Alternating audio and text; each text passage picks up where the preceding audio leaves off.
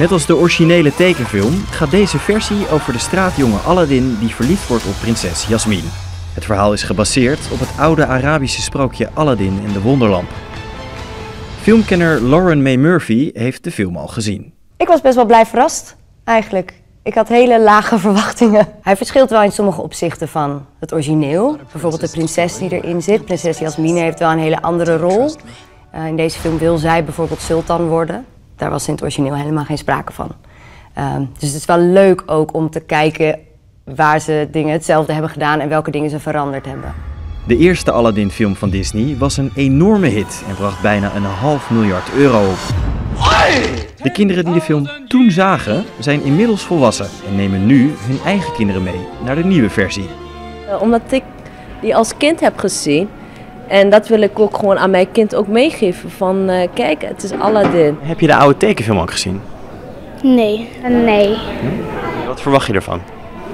Ja, dat het wel echt leuk gaat worden en spannend. Dat we nu kunnen we niet wachten tot we die film gaan zien. Met de nieuwe versies van oude tekenfilms hoopt Disney nieuwsgierige bezoekers te lokken.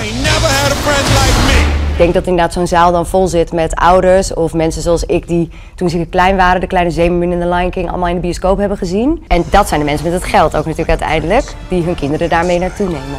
Ja, de remakes leveren Disney veel geld op. Er zijn er daarom al veel van gemaakt. We hebben Alice in Wonderland gehad. En Maleficent. En we hebben Assepoester gehad. En The Jungle Book. En Belle en het Beest. En nu hebben we net Dumbo gehad. En dan komt The Lion King er nog aan.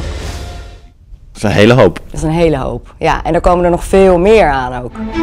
En wat deze film voor Nederlandse kijkers misschien nog meer bijzonder maakt, is dat de Nederlandse acteur Marwan Kenzari erin meedoet. Hij speelt slechterik Jafar. Jafar, de slechterik die hij speelt, die kent iedereen. Het is heel erg spannend en uniek dat hij dat voor elkaar heeft gekregen. Want volgens mij hebben ze duizenden acteurs uh, op auditie laten komen en hij is het geworden. Ruim twee uur duurt de film. Wij zijn natuurlijk benieuwd wat de kinderen ervan vonden. Ja, ik vond het echt leuk. Net als romantisch. Sommige stukjes vond ik wel spannend. En soms was het ook een beetje grappig ook. Zou je dan nu ook de tekenfilm willen zien? Uh, ja, maar ik vind het denk ik met echte acteurs vind ik wel leuker.